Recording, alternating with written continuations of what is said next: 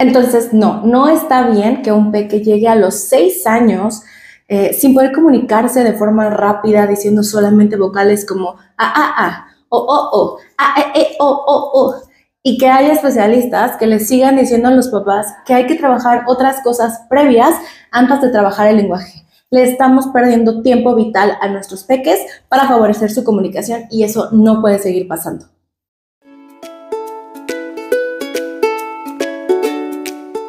Hola, ¿cómo estás? Yo soy Jimena Carreto, terapeuta de lenguaje y aprendizaje. También soy licenciada en lingüística y maestra en procesos de aprendizaje y necesidades educativas especiales.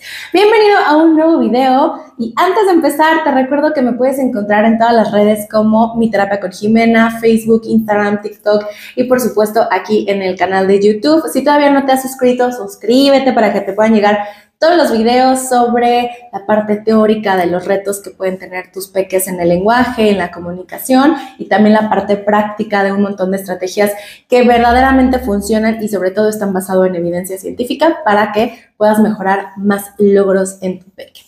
Dicho esto, eh, si me sigues en Instagram, te estaba comentando ayer que tuvimos una valoración con un pequeñito de 6 años eh, que solamente se comunica a través de vocales, o sea, todo es como a, u, a, a, u, a. Eh, aunque hay consonantes cuando las hacemos de forma aislada, o sea, si yo le digo pa, dice pa, si yo le digo p, dice p, no se integran las consonantes dentro de su habla espontánea y esto, por supuesto, limita un montón su lenguaje y su comunicación. Y yo siempre en redes, ¿no? Aquí, si me sigues en YouTube, sabes que todo el tiempo les estoy diciendo la importancia de la intervención temprana, de que por favor, en cuanto vean un desfase de lenguaje, eh, acudan a los especialistas y así. Sin embargo, eh, esto no es porque la familia no haya tomado la decisión de acudir a intervención temprana. Es todo lo contrario, es una familia que ha tenido un camino largo de especialistas tratando de encontrar la respuesta de por qué su pequeño no se puede comunicar, cuando realmente es muy notorio que quiere comunicarse, o sea, tú lo ves con la necesidad y la urgencia de comunicarse. Entonces, eh, conforme platicaba con la familia, me decían que unos les decían una cosa, otros decían como dale tiempo, otros que ingresar a, a la escuela le iba a ayudar o que cierto tipo de terapias. Pero todavía hace unas semanas, en unas terapias que están tomando de la parte sensorial y motora, les dijeron, no, no, es que ahorita la terapia de lenguaje no, hay que trabajar la parte sensorial y lo motor antes de trabajar el lenguaje. Y eso fue literalmente hace unas semanas. Y para mí es tan frustrante que especialistas sigan eh, cometiendo estos grandes errores con las familias de aconsejar el esperar o el aconsejar tomar cierto tipo de terapias previo al lenguaje cuando lo único que estamos haciendo es perderle el tiempo a las familias. Las terapias, cuando un niño requiere diferente tipo de terapias, llámese sensoriales, terapia física, ocupacional, de lenguaje, se trabajan en paralelo. Es decir, se trabajan al mismo tiempo, en diferentes momentos, pero al mismo tiempo. No es que una tenga prioridad sobre otra, porque en el neurodesarrollo de un niño necesitamos eh, como ir trabajando todas las áreas que estén presentando desafíos o retos. Entonces, el problema es que muchos especialistas que no están actualizados siguen creyendo que hay que dar prioridad a la parte únicamente motora o sensorial y el lenguaje queda después. Eso es completamente falso y estamos motivando que lleguen niños a los 4, 5, 6 años sin poderse comunicar de forma hablada cuando lo han podido hacer desde antes si hubieran tenido una buena intervención. Esto no es culpa de los papás, no es culpa de las familias, es culpa de nosotros como especialistas que no estamos entendiendo nuestra responsabilidad de que en nuestras manos está la vida eh, y la comunicación de un niño o de una familia. El no aceptar que que tenemos límites de conocimiento y que a lo mejor no estoy actualizado en esto que le está pasando al peque, en el no querer aceptar que a lo mejor yo no soy quien le puede ayudar a este peque, en el no querer canalizar, en el no quererte seguir eh, asesorando, el no actualizarte. Creo que eh, justo del tema que vamos a hablar hoy, eh, que es apraxia del habla infantil, que es lo que está presentando este pequeñito y te voy a explicar las características. Es un tema que a mí no me lo enseñaron en la universidad, es un tema que en investigación sigue siendo nuevo, hay muchas cosas que nos faltan por conocer, pero es mi obligación capacitarme porque yo he tenido niños con los que justo digo, ¿qué pasa? O sea, ¿por qué no avanza? ¿Por qué si yo estoy aplicando las estrategias del niño eh, no, no parece avanzar y eso es lo que a mí me ha hecho como el seguir investigando y el seguir aprendiendo y el seguir compartiendo. Si tú me sigues de hace años, sabes que he hecho videos diciendo una cosa y luego saco otros videos diciendo, no, no, lo que dije en el video ya es tradicional, ya es obsoleto, ya no funciona, esto es la nueva las nuevas este, estrategias basadas en, en evidencia. Entonces, Ah, estaba yo muy molesta porque de verdad le perdemos tiempo a la familia, tiempo vital del lenguaje de un pequeñito. Entonces, si tú eres papá, tienes que buscar eh, asegurarte de que estés con un buen especialista, que esté actualizado, que te pídenles las credenciales, que realmente sean quien dice ser y que tengan el conocimiento para trabajar las dificultades de tu peque. Hace poquito una mamá nueva nos escribió así de, ¿y cuál es la cédula profesional de Jimena? Y así, y, y, es como, wow, qué raro, ¿no? Nadie nos pide, pero adelante, ahí están las cédulas profesionales, ahí está lo que, lo que certifica que yo estudié lo que digo que estudié y, y que sé lo que digo saber, ¿no? Entonces pídanlo, exíjanlo. Y también si ven que las terapeutas no están actualizadas o que les están dando información que no concuerda con lo que ustedes están aprendiendo, sabiendo, lo que ven basado en evidencia, corran al otro lado hasta encontrar a alguien que realmente les pueda ayudar porque no podemos perderle el tiempo a nuestros niños. Y, y la mami me decía como, tengo fe en que la vas a poder ayudar. Y yo, claro que le vamos a ayudar. Y le decía a una de mis terapeutas que estaba ahí conmigo haciendo la valoración, le dije, entiende la gran responsabilidad que tienes y tenemos de ayudar a sacar a este peque adelante, porque tiene seis años, no se puede comunicar, no porque no quiera, es porque no puede y en nuestras manos está el que este niño salga adelante. Entonces, eh, bueno, vamos a hablar de lo que es la praxia del habla infantil. Eh, es una dificultad del habla, no es del lenguaje, pero inicialmente la vamos a ver como un desfase del lenguaje, porque los niños eh, son incapaces de planificar y coordinar los movimientos de toda la estructura anatómica del habla para poder hacer secuencias de sonidos rápidas, ¿ok? Quiero que pienses en que las palabras o cuando yo estoy hablando, eh, emito una cadena de sonidos. Como tú hablas español y me entiendes, pues tu cerebro segmenta las palabras. Pero si tú te fueras a China, Alemania, Japón, donde a lo mejor no hablamos el idioma, lo único que vas a escuchar son sonidos. Tu cerebro no tiene el conocimiento de la lengua como para saber dónde termina y dónde empieza una palabra. Entonces, realmente hablar es una cadena de sonidos que eh, realizamos de manera muy rápida y muy precisa para que se entienda bonito la pronunciación. Entonces, justo esa es la dificultad que tienen las personas que tienen una praxia.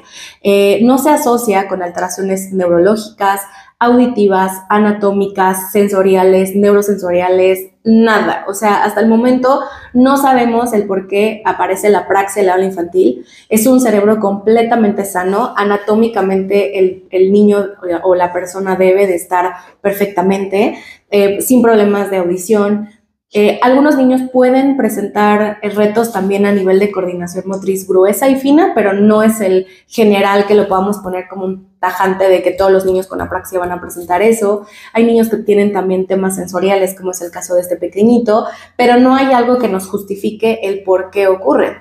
Típicamente los pequeñitos que tienen apraxia oral infantil eh, no tienen problemas cognitivamente, es decir, acá está el lenguaje, quieren expresar un montón de cosas, pero por esta dificultad de la coordinación de la estructura anatómica, pues no salen las palabras, ¿ok? Eh, cosas importantes a evaluar es que desde que son bebés, los niños eh, dan muestras de esta dificultad. Entonces, ¿qué podríamos ver desde que están muy pequeños? Que cuando son bebés no balbucean, eh, los balbuceos canónicos como va, va, va, va, ta, ta, ta, ta, ma, ma, ma, los esperamos alrededor de los seis meses y va progresando ese balbuceo eh, porque van aumentando la cantidad de vocales, la cantidad de consonantes que se van mezclando para poder llegar a las primeras palabras hacia los 12 meses. Sin embargo, estos son pequeños que cuando tú entrevistas a las familias te dicen que eran bebés muy silenciosos, que casi no emitían sonidos con su boquita o que típicamente mantenían la boca cerrada, que eran más bien sonidos como velares, como sonidos más guturales, más atrás como Em, típicamente, por ejemplo, las vocales aparecen por completo, se consolidan alrededor de los dos años, o sea, ya para los dos años todas las vocales ya están bien pronunciadas y son peques que tienen mucha dificultad en la producción de vocales y su gama de consonantes es muy, muy limitada y justo la combinación de sílabas eh, entre la consonante y la vocal les cuesta mucho trabajo. Eh, hay niveles de apraxia, hay niños que van a hablar un poco más, hay niños que van a hablar un poco menos, pero algo importante para saber qué es apraxia del habla versus un retraso motor del habla es algo que se llama tanteo. ¿Y qué quiere decir eso? Que el peque va a tener esta dificultad de configurar la estructura anatómica del habla para producir de forma precisa un sonido en particular. Entonces tú ves esa dificultad, si tú le dices, a ver, di ma, di o, entonces el niño mueve su boquita así como o y no llega a la perfección de la precisión del movimiento.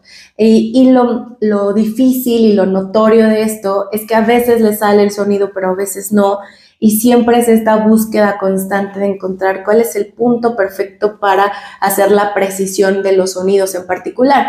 Entonces, las transiciones de sonidos pues les cuestan mucho trabajo y quiero que pienses en las palabras justo como secuencias de sonidos.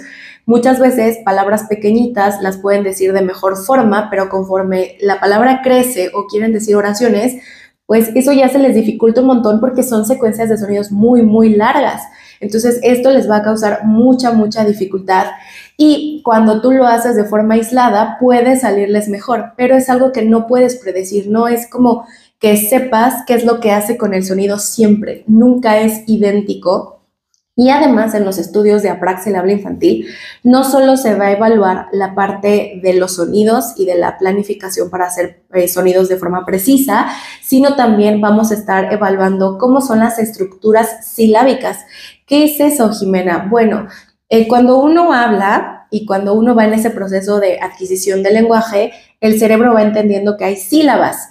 Y dentro del español, la sílaba como más sencilla y más común es una consonante vocal pa, ma, co, pe, ¿no? Todas esas combinaciones. Entonces, poco a poco los niños van combinando sílabas. Entonces, podemos empezar primero con una reduplicación de la sílaba, como es mamá o papá, donde las dos consonantes y las dos vocales se mantienen, pero después vamos a empezar a combinar. Entonces, podemos mantener las, las vocales, pero cambiar consonantes como en pata eh, o bata, pero podemos mantener la vocal, eh, perdón, mantener la consonante y cambiar la vocal, por ejemplo, como en queca, que aquí en México es como una quesadilla, o podemos modificar todas y pueden empezar a cambiar todas, como una palabra como pato, ¿ok? Entonces, la forma, la estructura silábica de una palabra también es importante en evaluar en la praxia, porque vamos a ver que están muy simplificadas sus estructuras silábicas.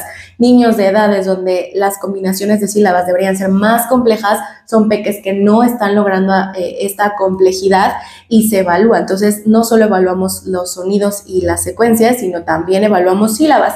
Pero además evaluamos prosodia y evaluamos acentuación. Resulta que los estudios demuestran que los peques que tienen apraxia del habla, su prosodia no es idéntica. Yo puedo decir cosas como manzana y entonces el niño puede repetir como a, a, a y se mantiene como esa melodía, esa entonación de la palabra. Pero cuando estás evaluando niños que verdaderamente tienen apraxia, es como, ah, ah, ah, ¿no? Que me pasó con este peque. La prosodia es totalmente distinta a lo que yo estoy diciendo. Tal vez sí hay como esas partes de la sílaba, porque la vocal es el núcleo de la sílaba y aunque no haya consonantes se marcan las tres, pero la, la, la entonación y el acento cambia por completo. El acento no va donde tiene que ir manzana, porque es una palabra grave. Él hace a, a, a y es como, ¿por qué haces el acento al final si no tenemos en el español tantas palabras agudas? Entonces, se evalúan las secuencias de los sonidos, las estructuras silábicas, la prosodia y la acentuación. Entonces, todo eso en conjunto nos demuestra que hay una falla de entender cómo mover, cómo sacar el sonido eh, desde las cuerdas vocales, pueden eh, también tener características de hipernasalidad, es decir, no saben cómo coordinar el cierre de la epiglotis para que el aire salga por la boca o salga, salga por la nariz en los fonemas que son nasales, que son bien poquitos en el español, es N, ñ y párenle de contar, ¿no? Pero muchos niños con apraxia tienen mucha eh, hipernasalidad, es decir, sacan el aire de forma constante eh, por la nariz. Entonces, todo esto que te estoy diciendo son dificultades que se van viendo pero si uno no es experto, si uno no se ha actualizado, lo vas a seguir viendo como un niño que no habla, que no tiene muchos sonidos, que no puede producir palabras, que a lo mejor hace las sílabas de forma aislada y dice los sonidos de forma aislada, pero cuando los juntan no los puede decir. Y si se trabaja de la forma típica como trabajábamos la pronunciación, ese peque va a tardar un montón en avanzar, porque en las nuevas investigaciones la forma de trabajo con esta dificultad no es el sonido. No trabajamos el sonido en particular, trabajamos el movimiento. Todo el tiempo estamos trabajando el movimiento. Entonces, ¿qué voy a evaluar yo? Primero tengo que saber qué sonidos puede decir de forma fácil, sin modelamiento, qué sonidos salen solamente con modelamiento y qué sonidos de plano no salen ni con el modelamiento. Y entonces yo como terapeuta tengo que hacer combinaciones de los sonidos que ya tiene por sí solo, los sonidos que salen por modelamiento y crear tanto pseudo palabras como palabras reales del español para empezarlas a mezclar. Y justo dentro de las nuevas metodologías, son terapias que tienen que ser muy constantes para que puedas ver cambios. Em, Hoy sabemos, de acuerdo a, los investigadores que se dedican a esto, que una de ellas es Eddie Strand, eh, dice que los niños con apraxia, aunque sea severa, pueden llegar a hablar bien, eh, pero necesitamos trabajar lo antes posible y si es necesario trabajar comunicación aumentativa y alternativa, lo tenemos que hacer. Voy a hacer otro video como una segunda parte donde te voy a explicar un poco más de cómo se evalúa y cómo es la forma de trabajo, no para que lo trabajes con tu peque, porque este tipo de situaciones sí o sí requieren terapia de lenguaje. O sea, no hay forma que tu peque no tome terapia de lenguaje, pero me es importante que a ti como papá te quede claro qué es lo que debe de evaluar la terapeuta y si eres un profesional, si eres un terapeuta de lenguaje, que te quede claro qué es lo que tienes que estar observando y qué es donde te tienes que actualizar, porque sí son metodologías muy particulares. Hasta el momento tenemos cuatro que tienen evidencia científica de funcionar para apraxia y necesitamos saber esto para seguir ayudando a más familias y no perderles el tiempo a nuestros peques. Entonces, sé que este es un tema que da para muchos, seguramente hay muchas dudas, entonces déjamelas aquí en comentario.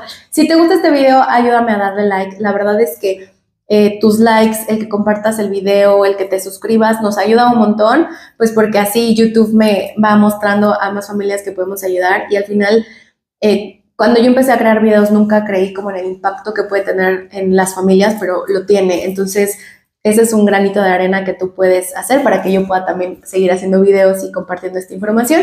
Déjame tus dudas y no olvides que si necesitas terapia de lenguaje, Puedes tomarla con nosotros en mi terapia con Jimena, en presencial en Ciudad de México, en Querétaro también, México, pero además tenemos terapia online para todo el mundo. Así que en descripción te dejo toda la información de, las, de los teléfonos donde te puedes comunicar o WhatsApp, página web, correo, todo.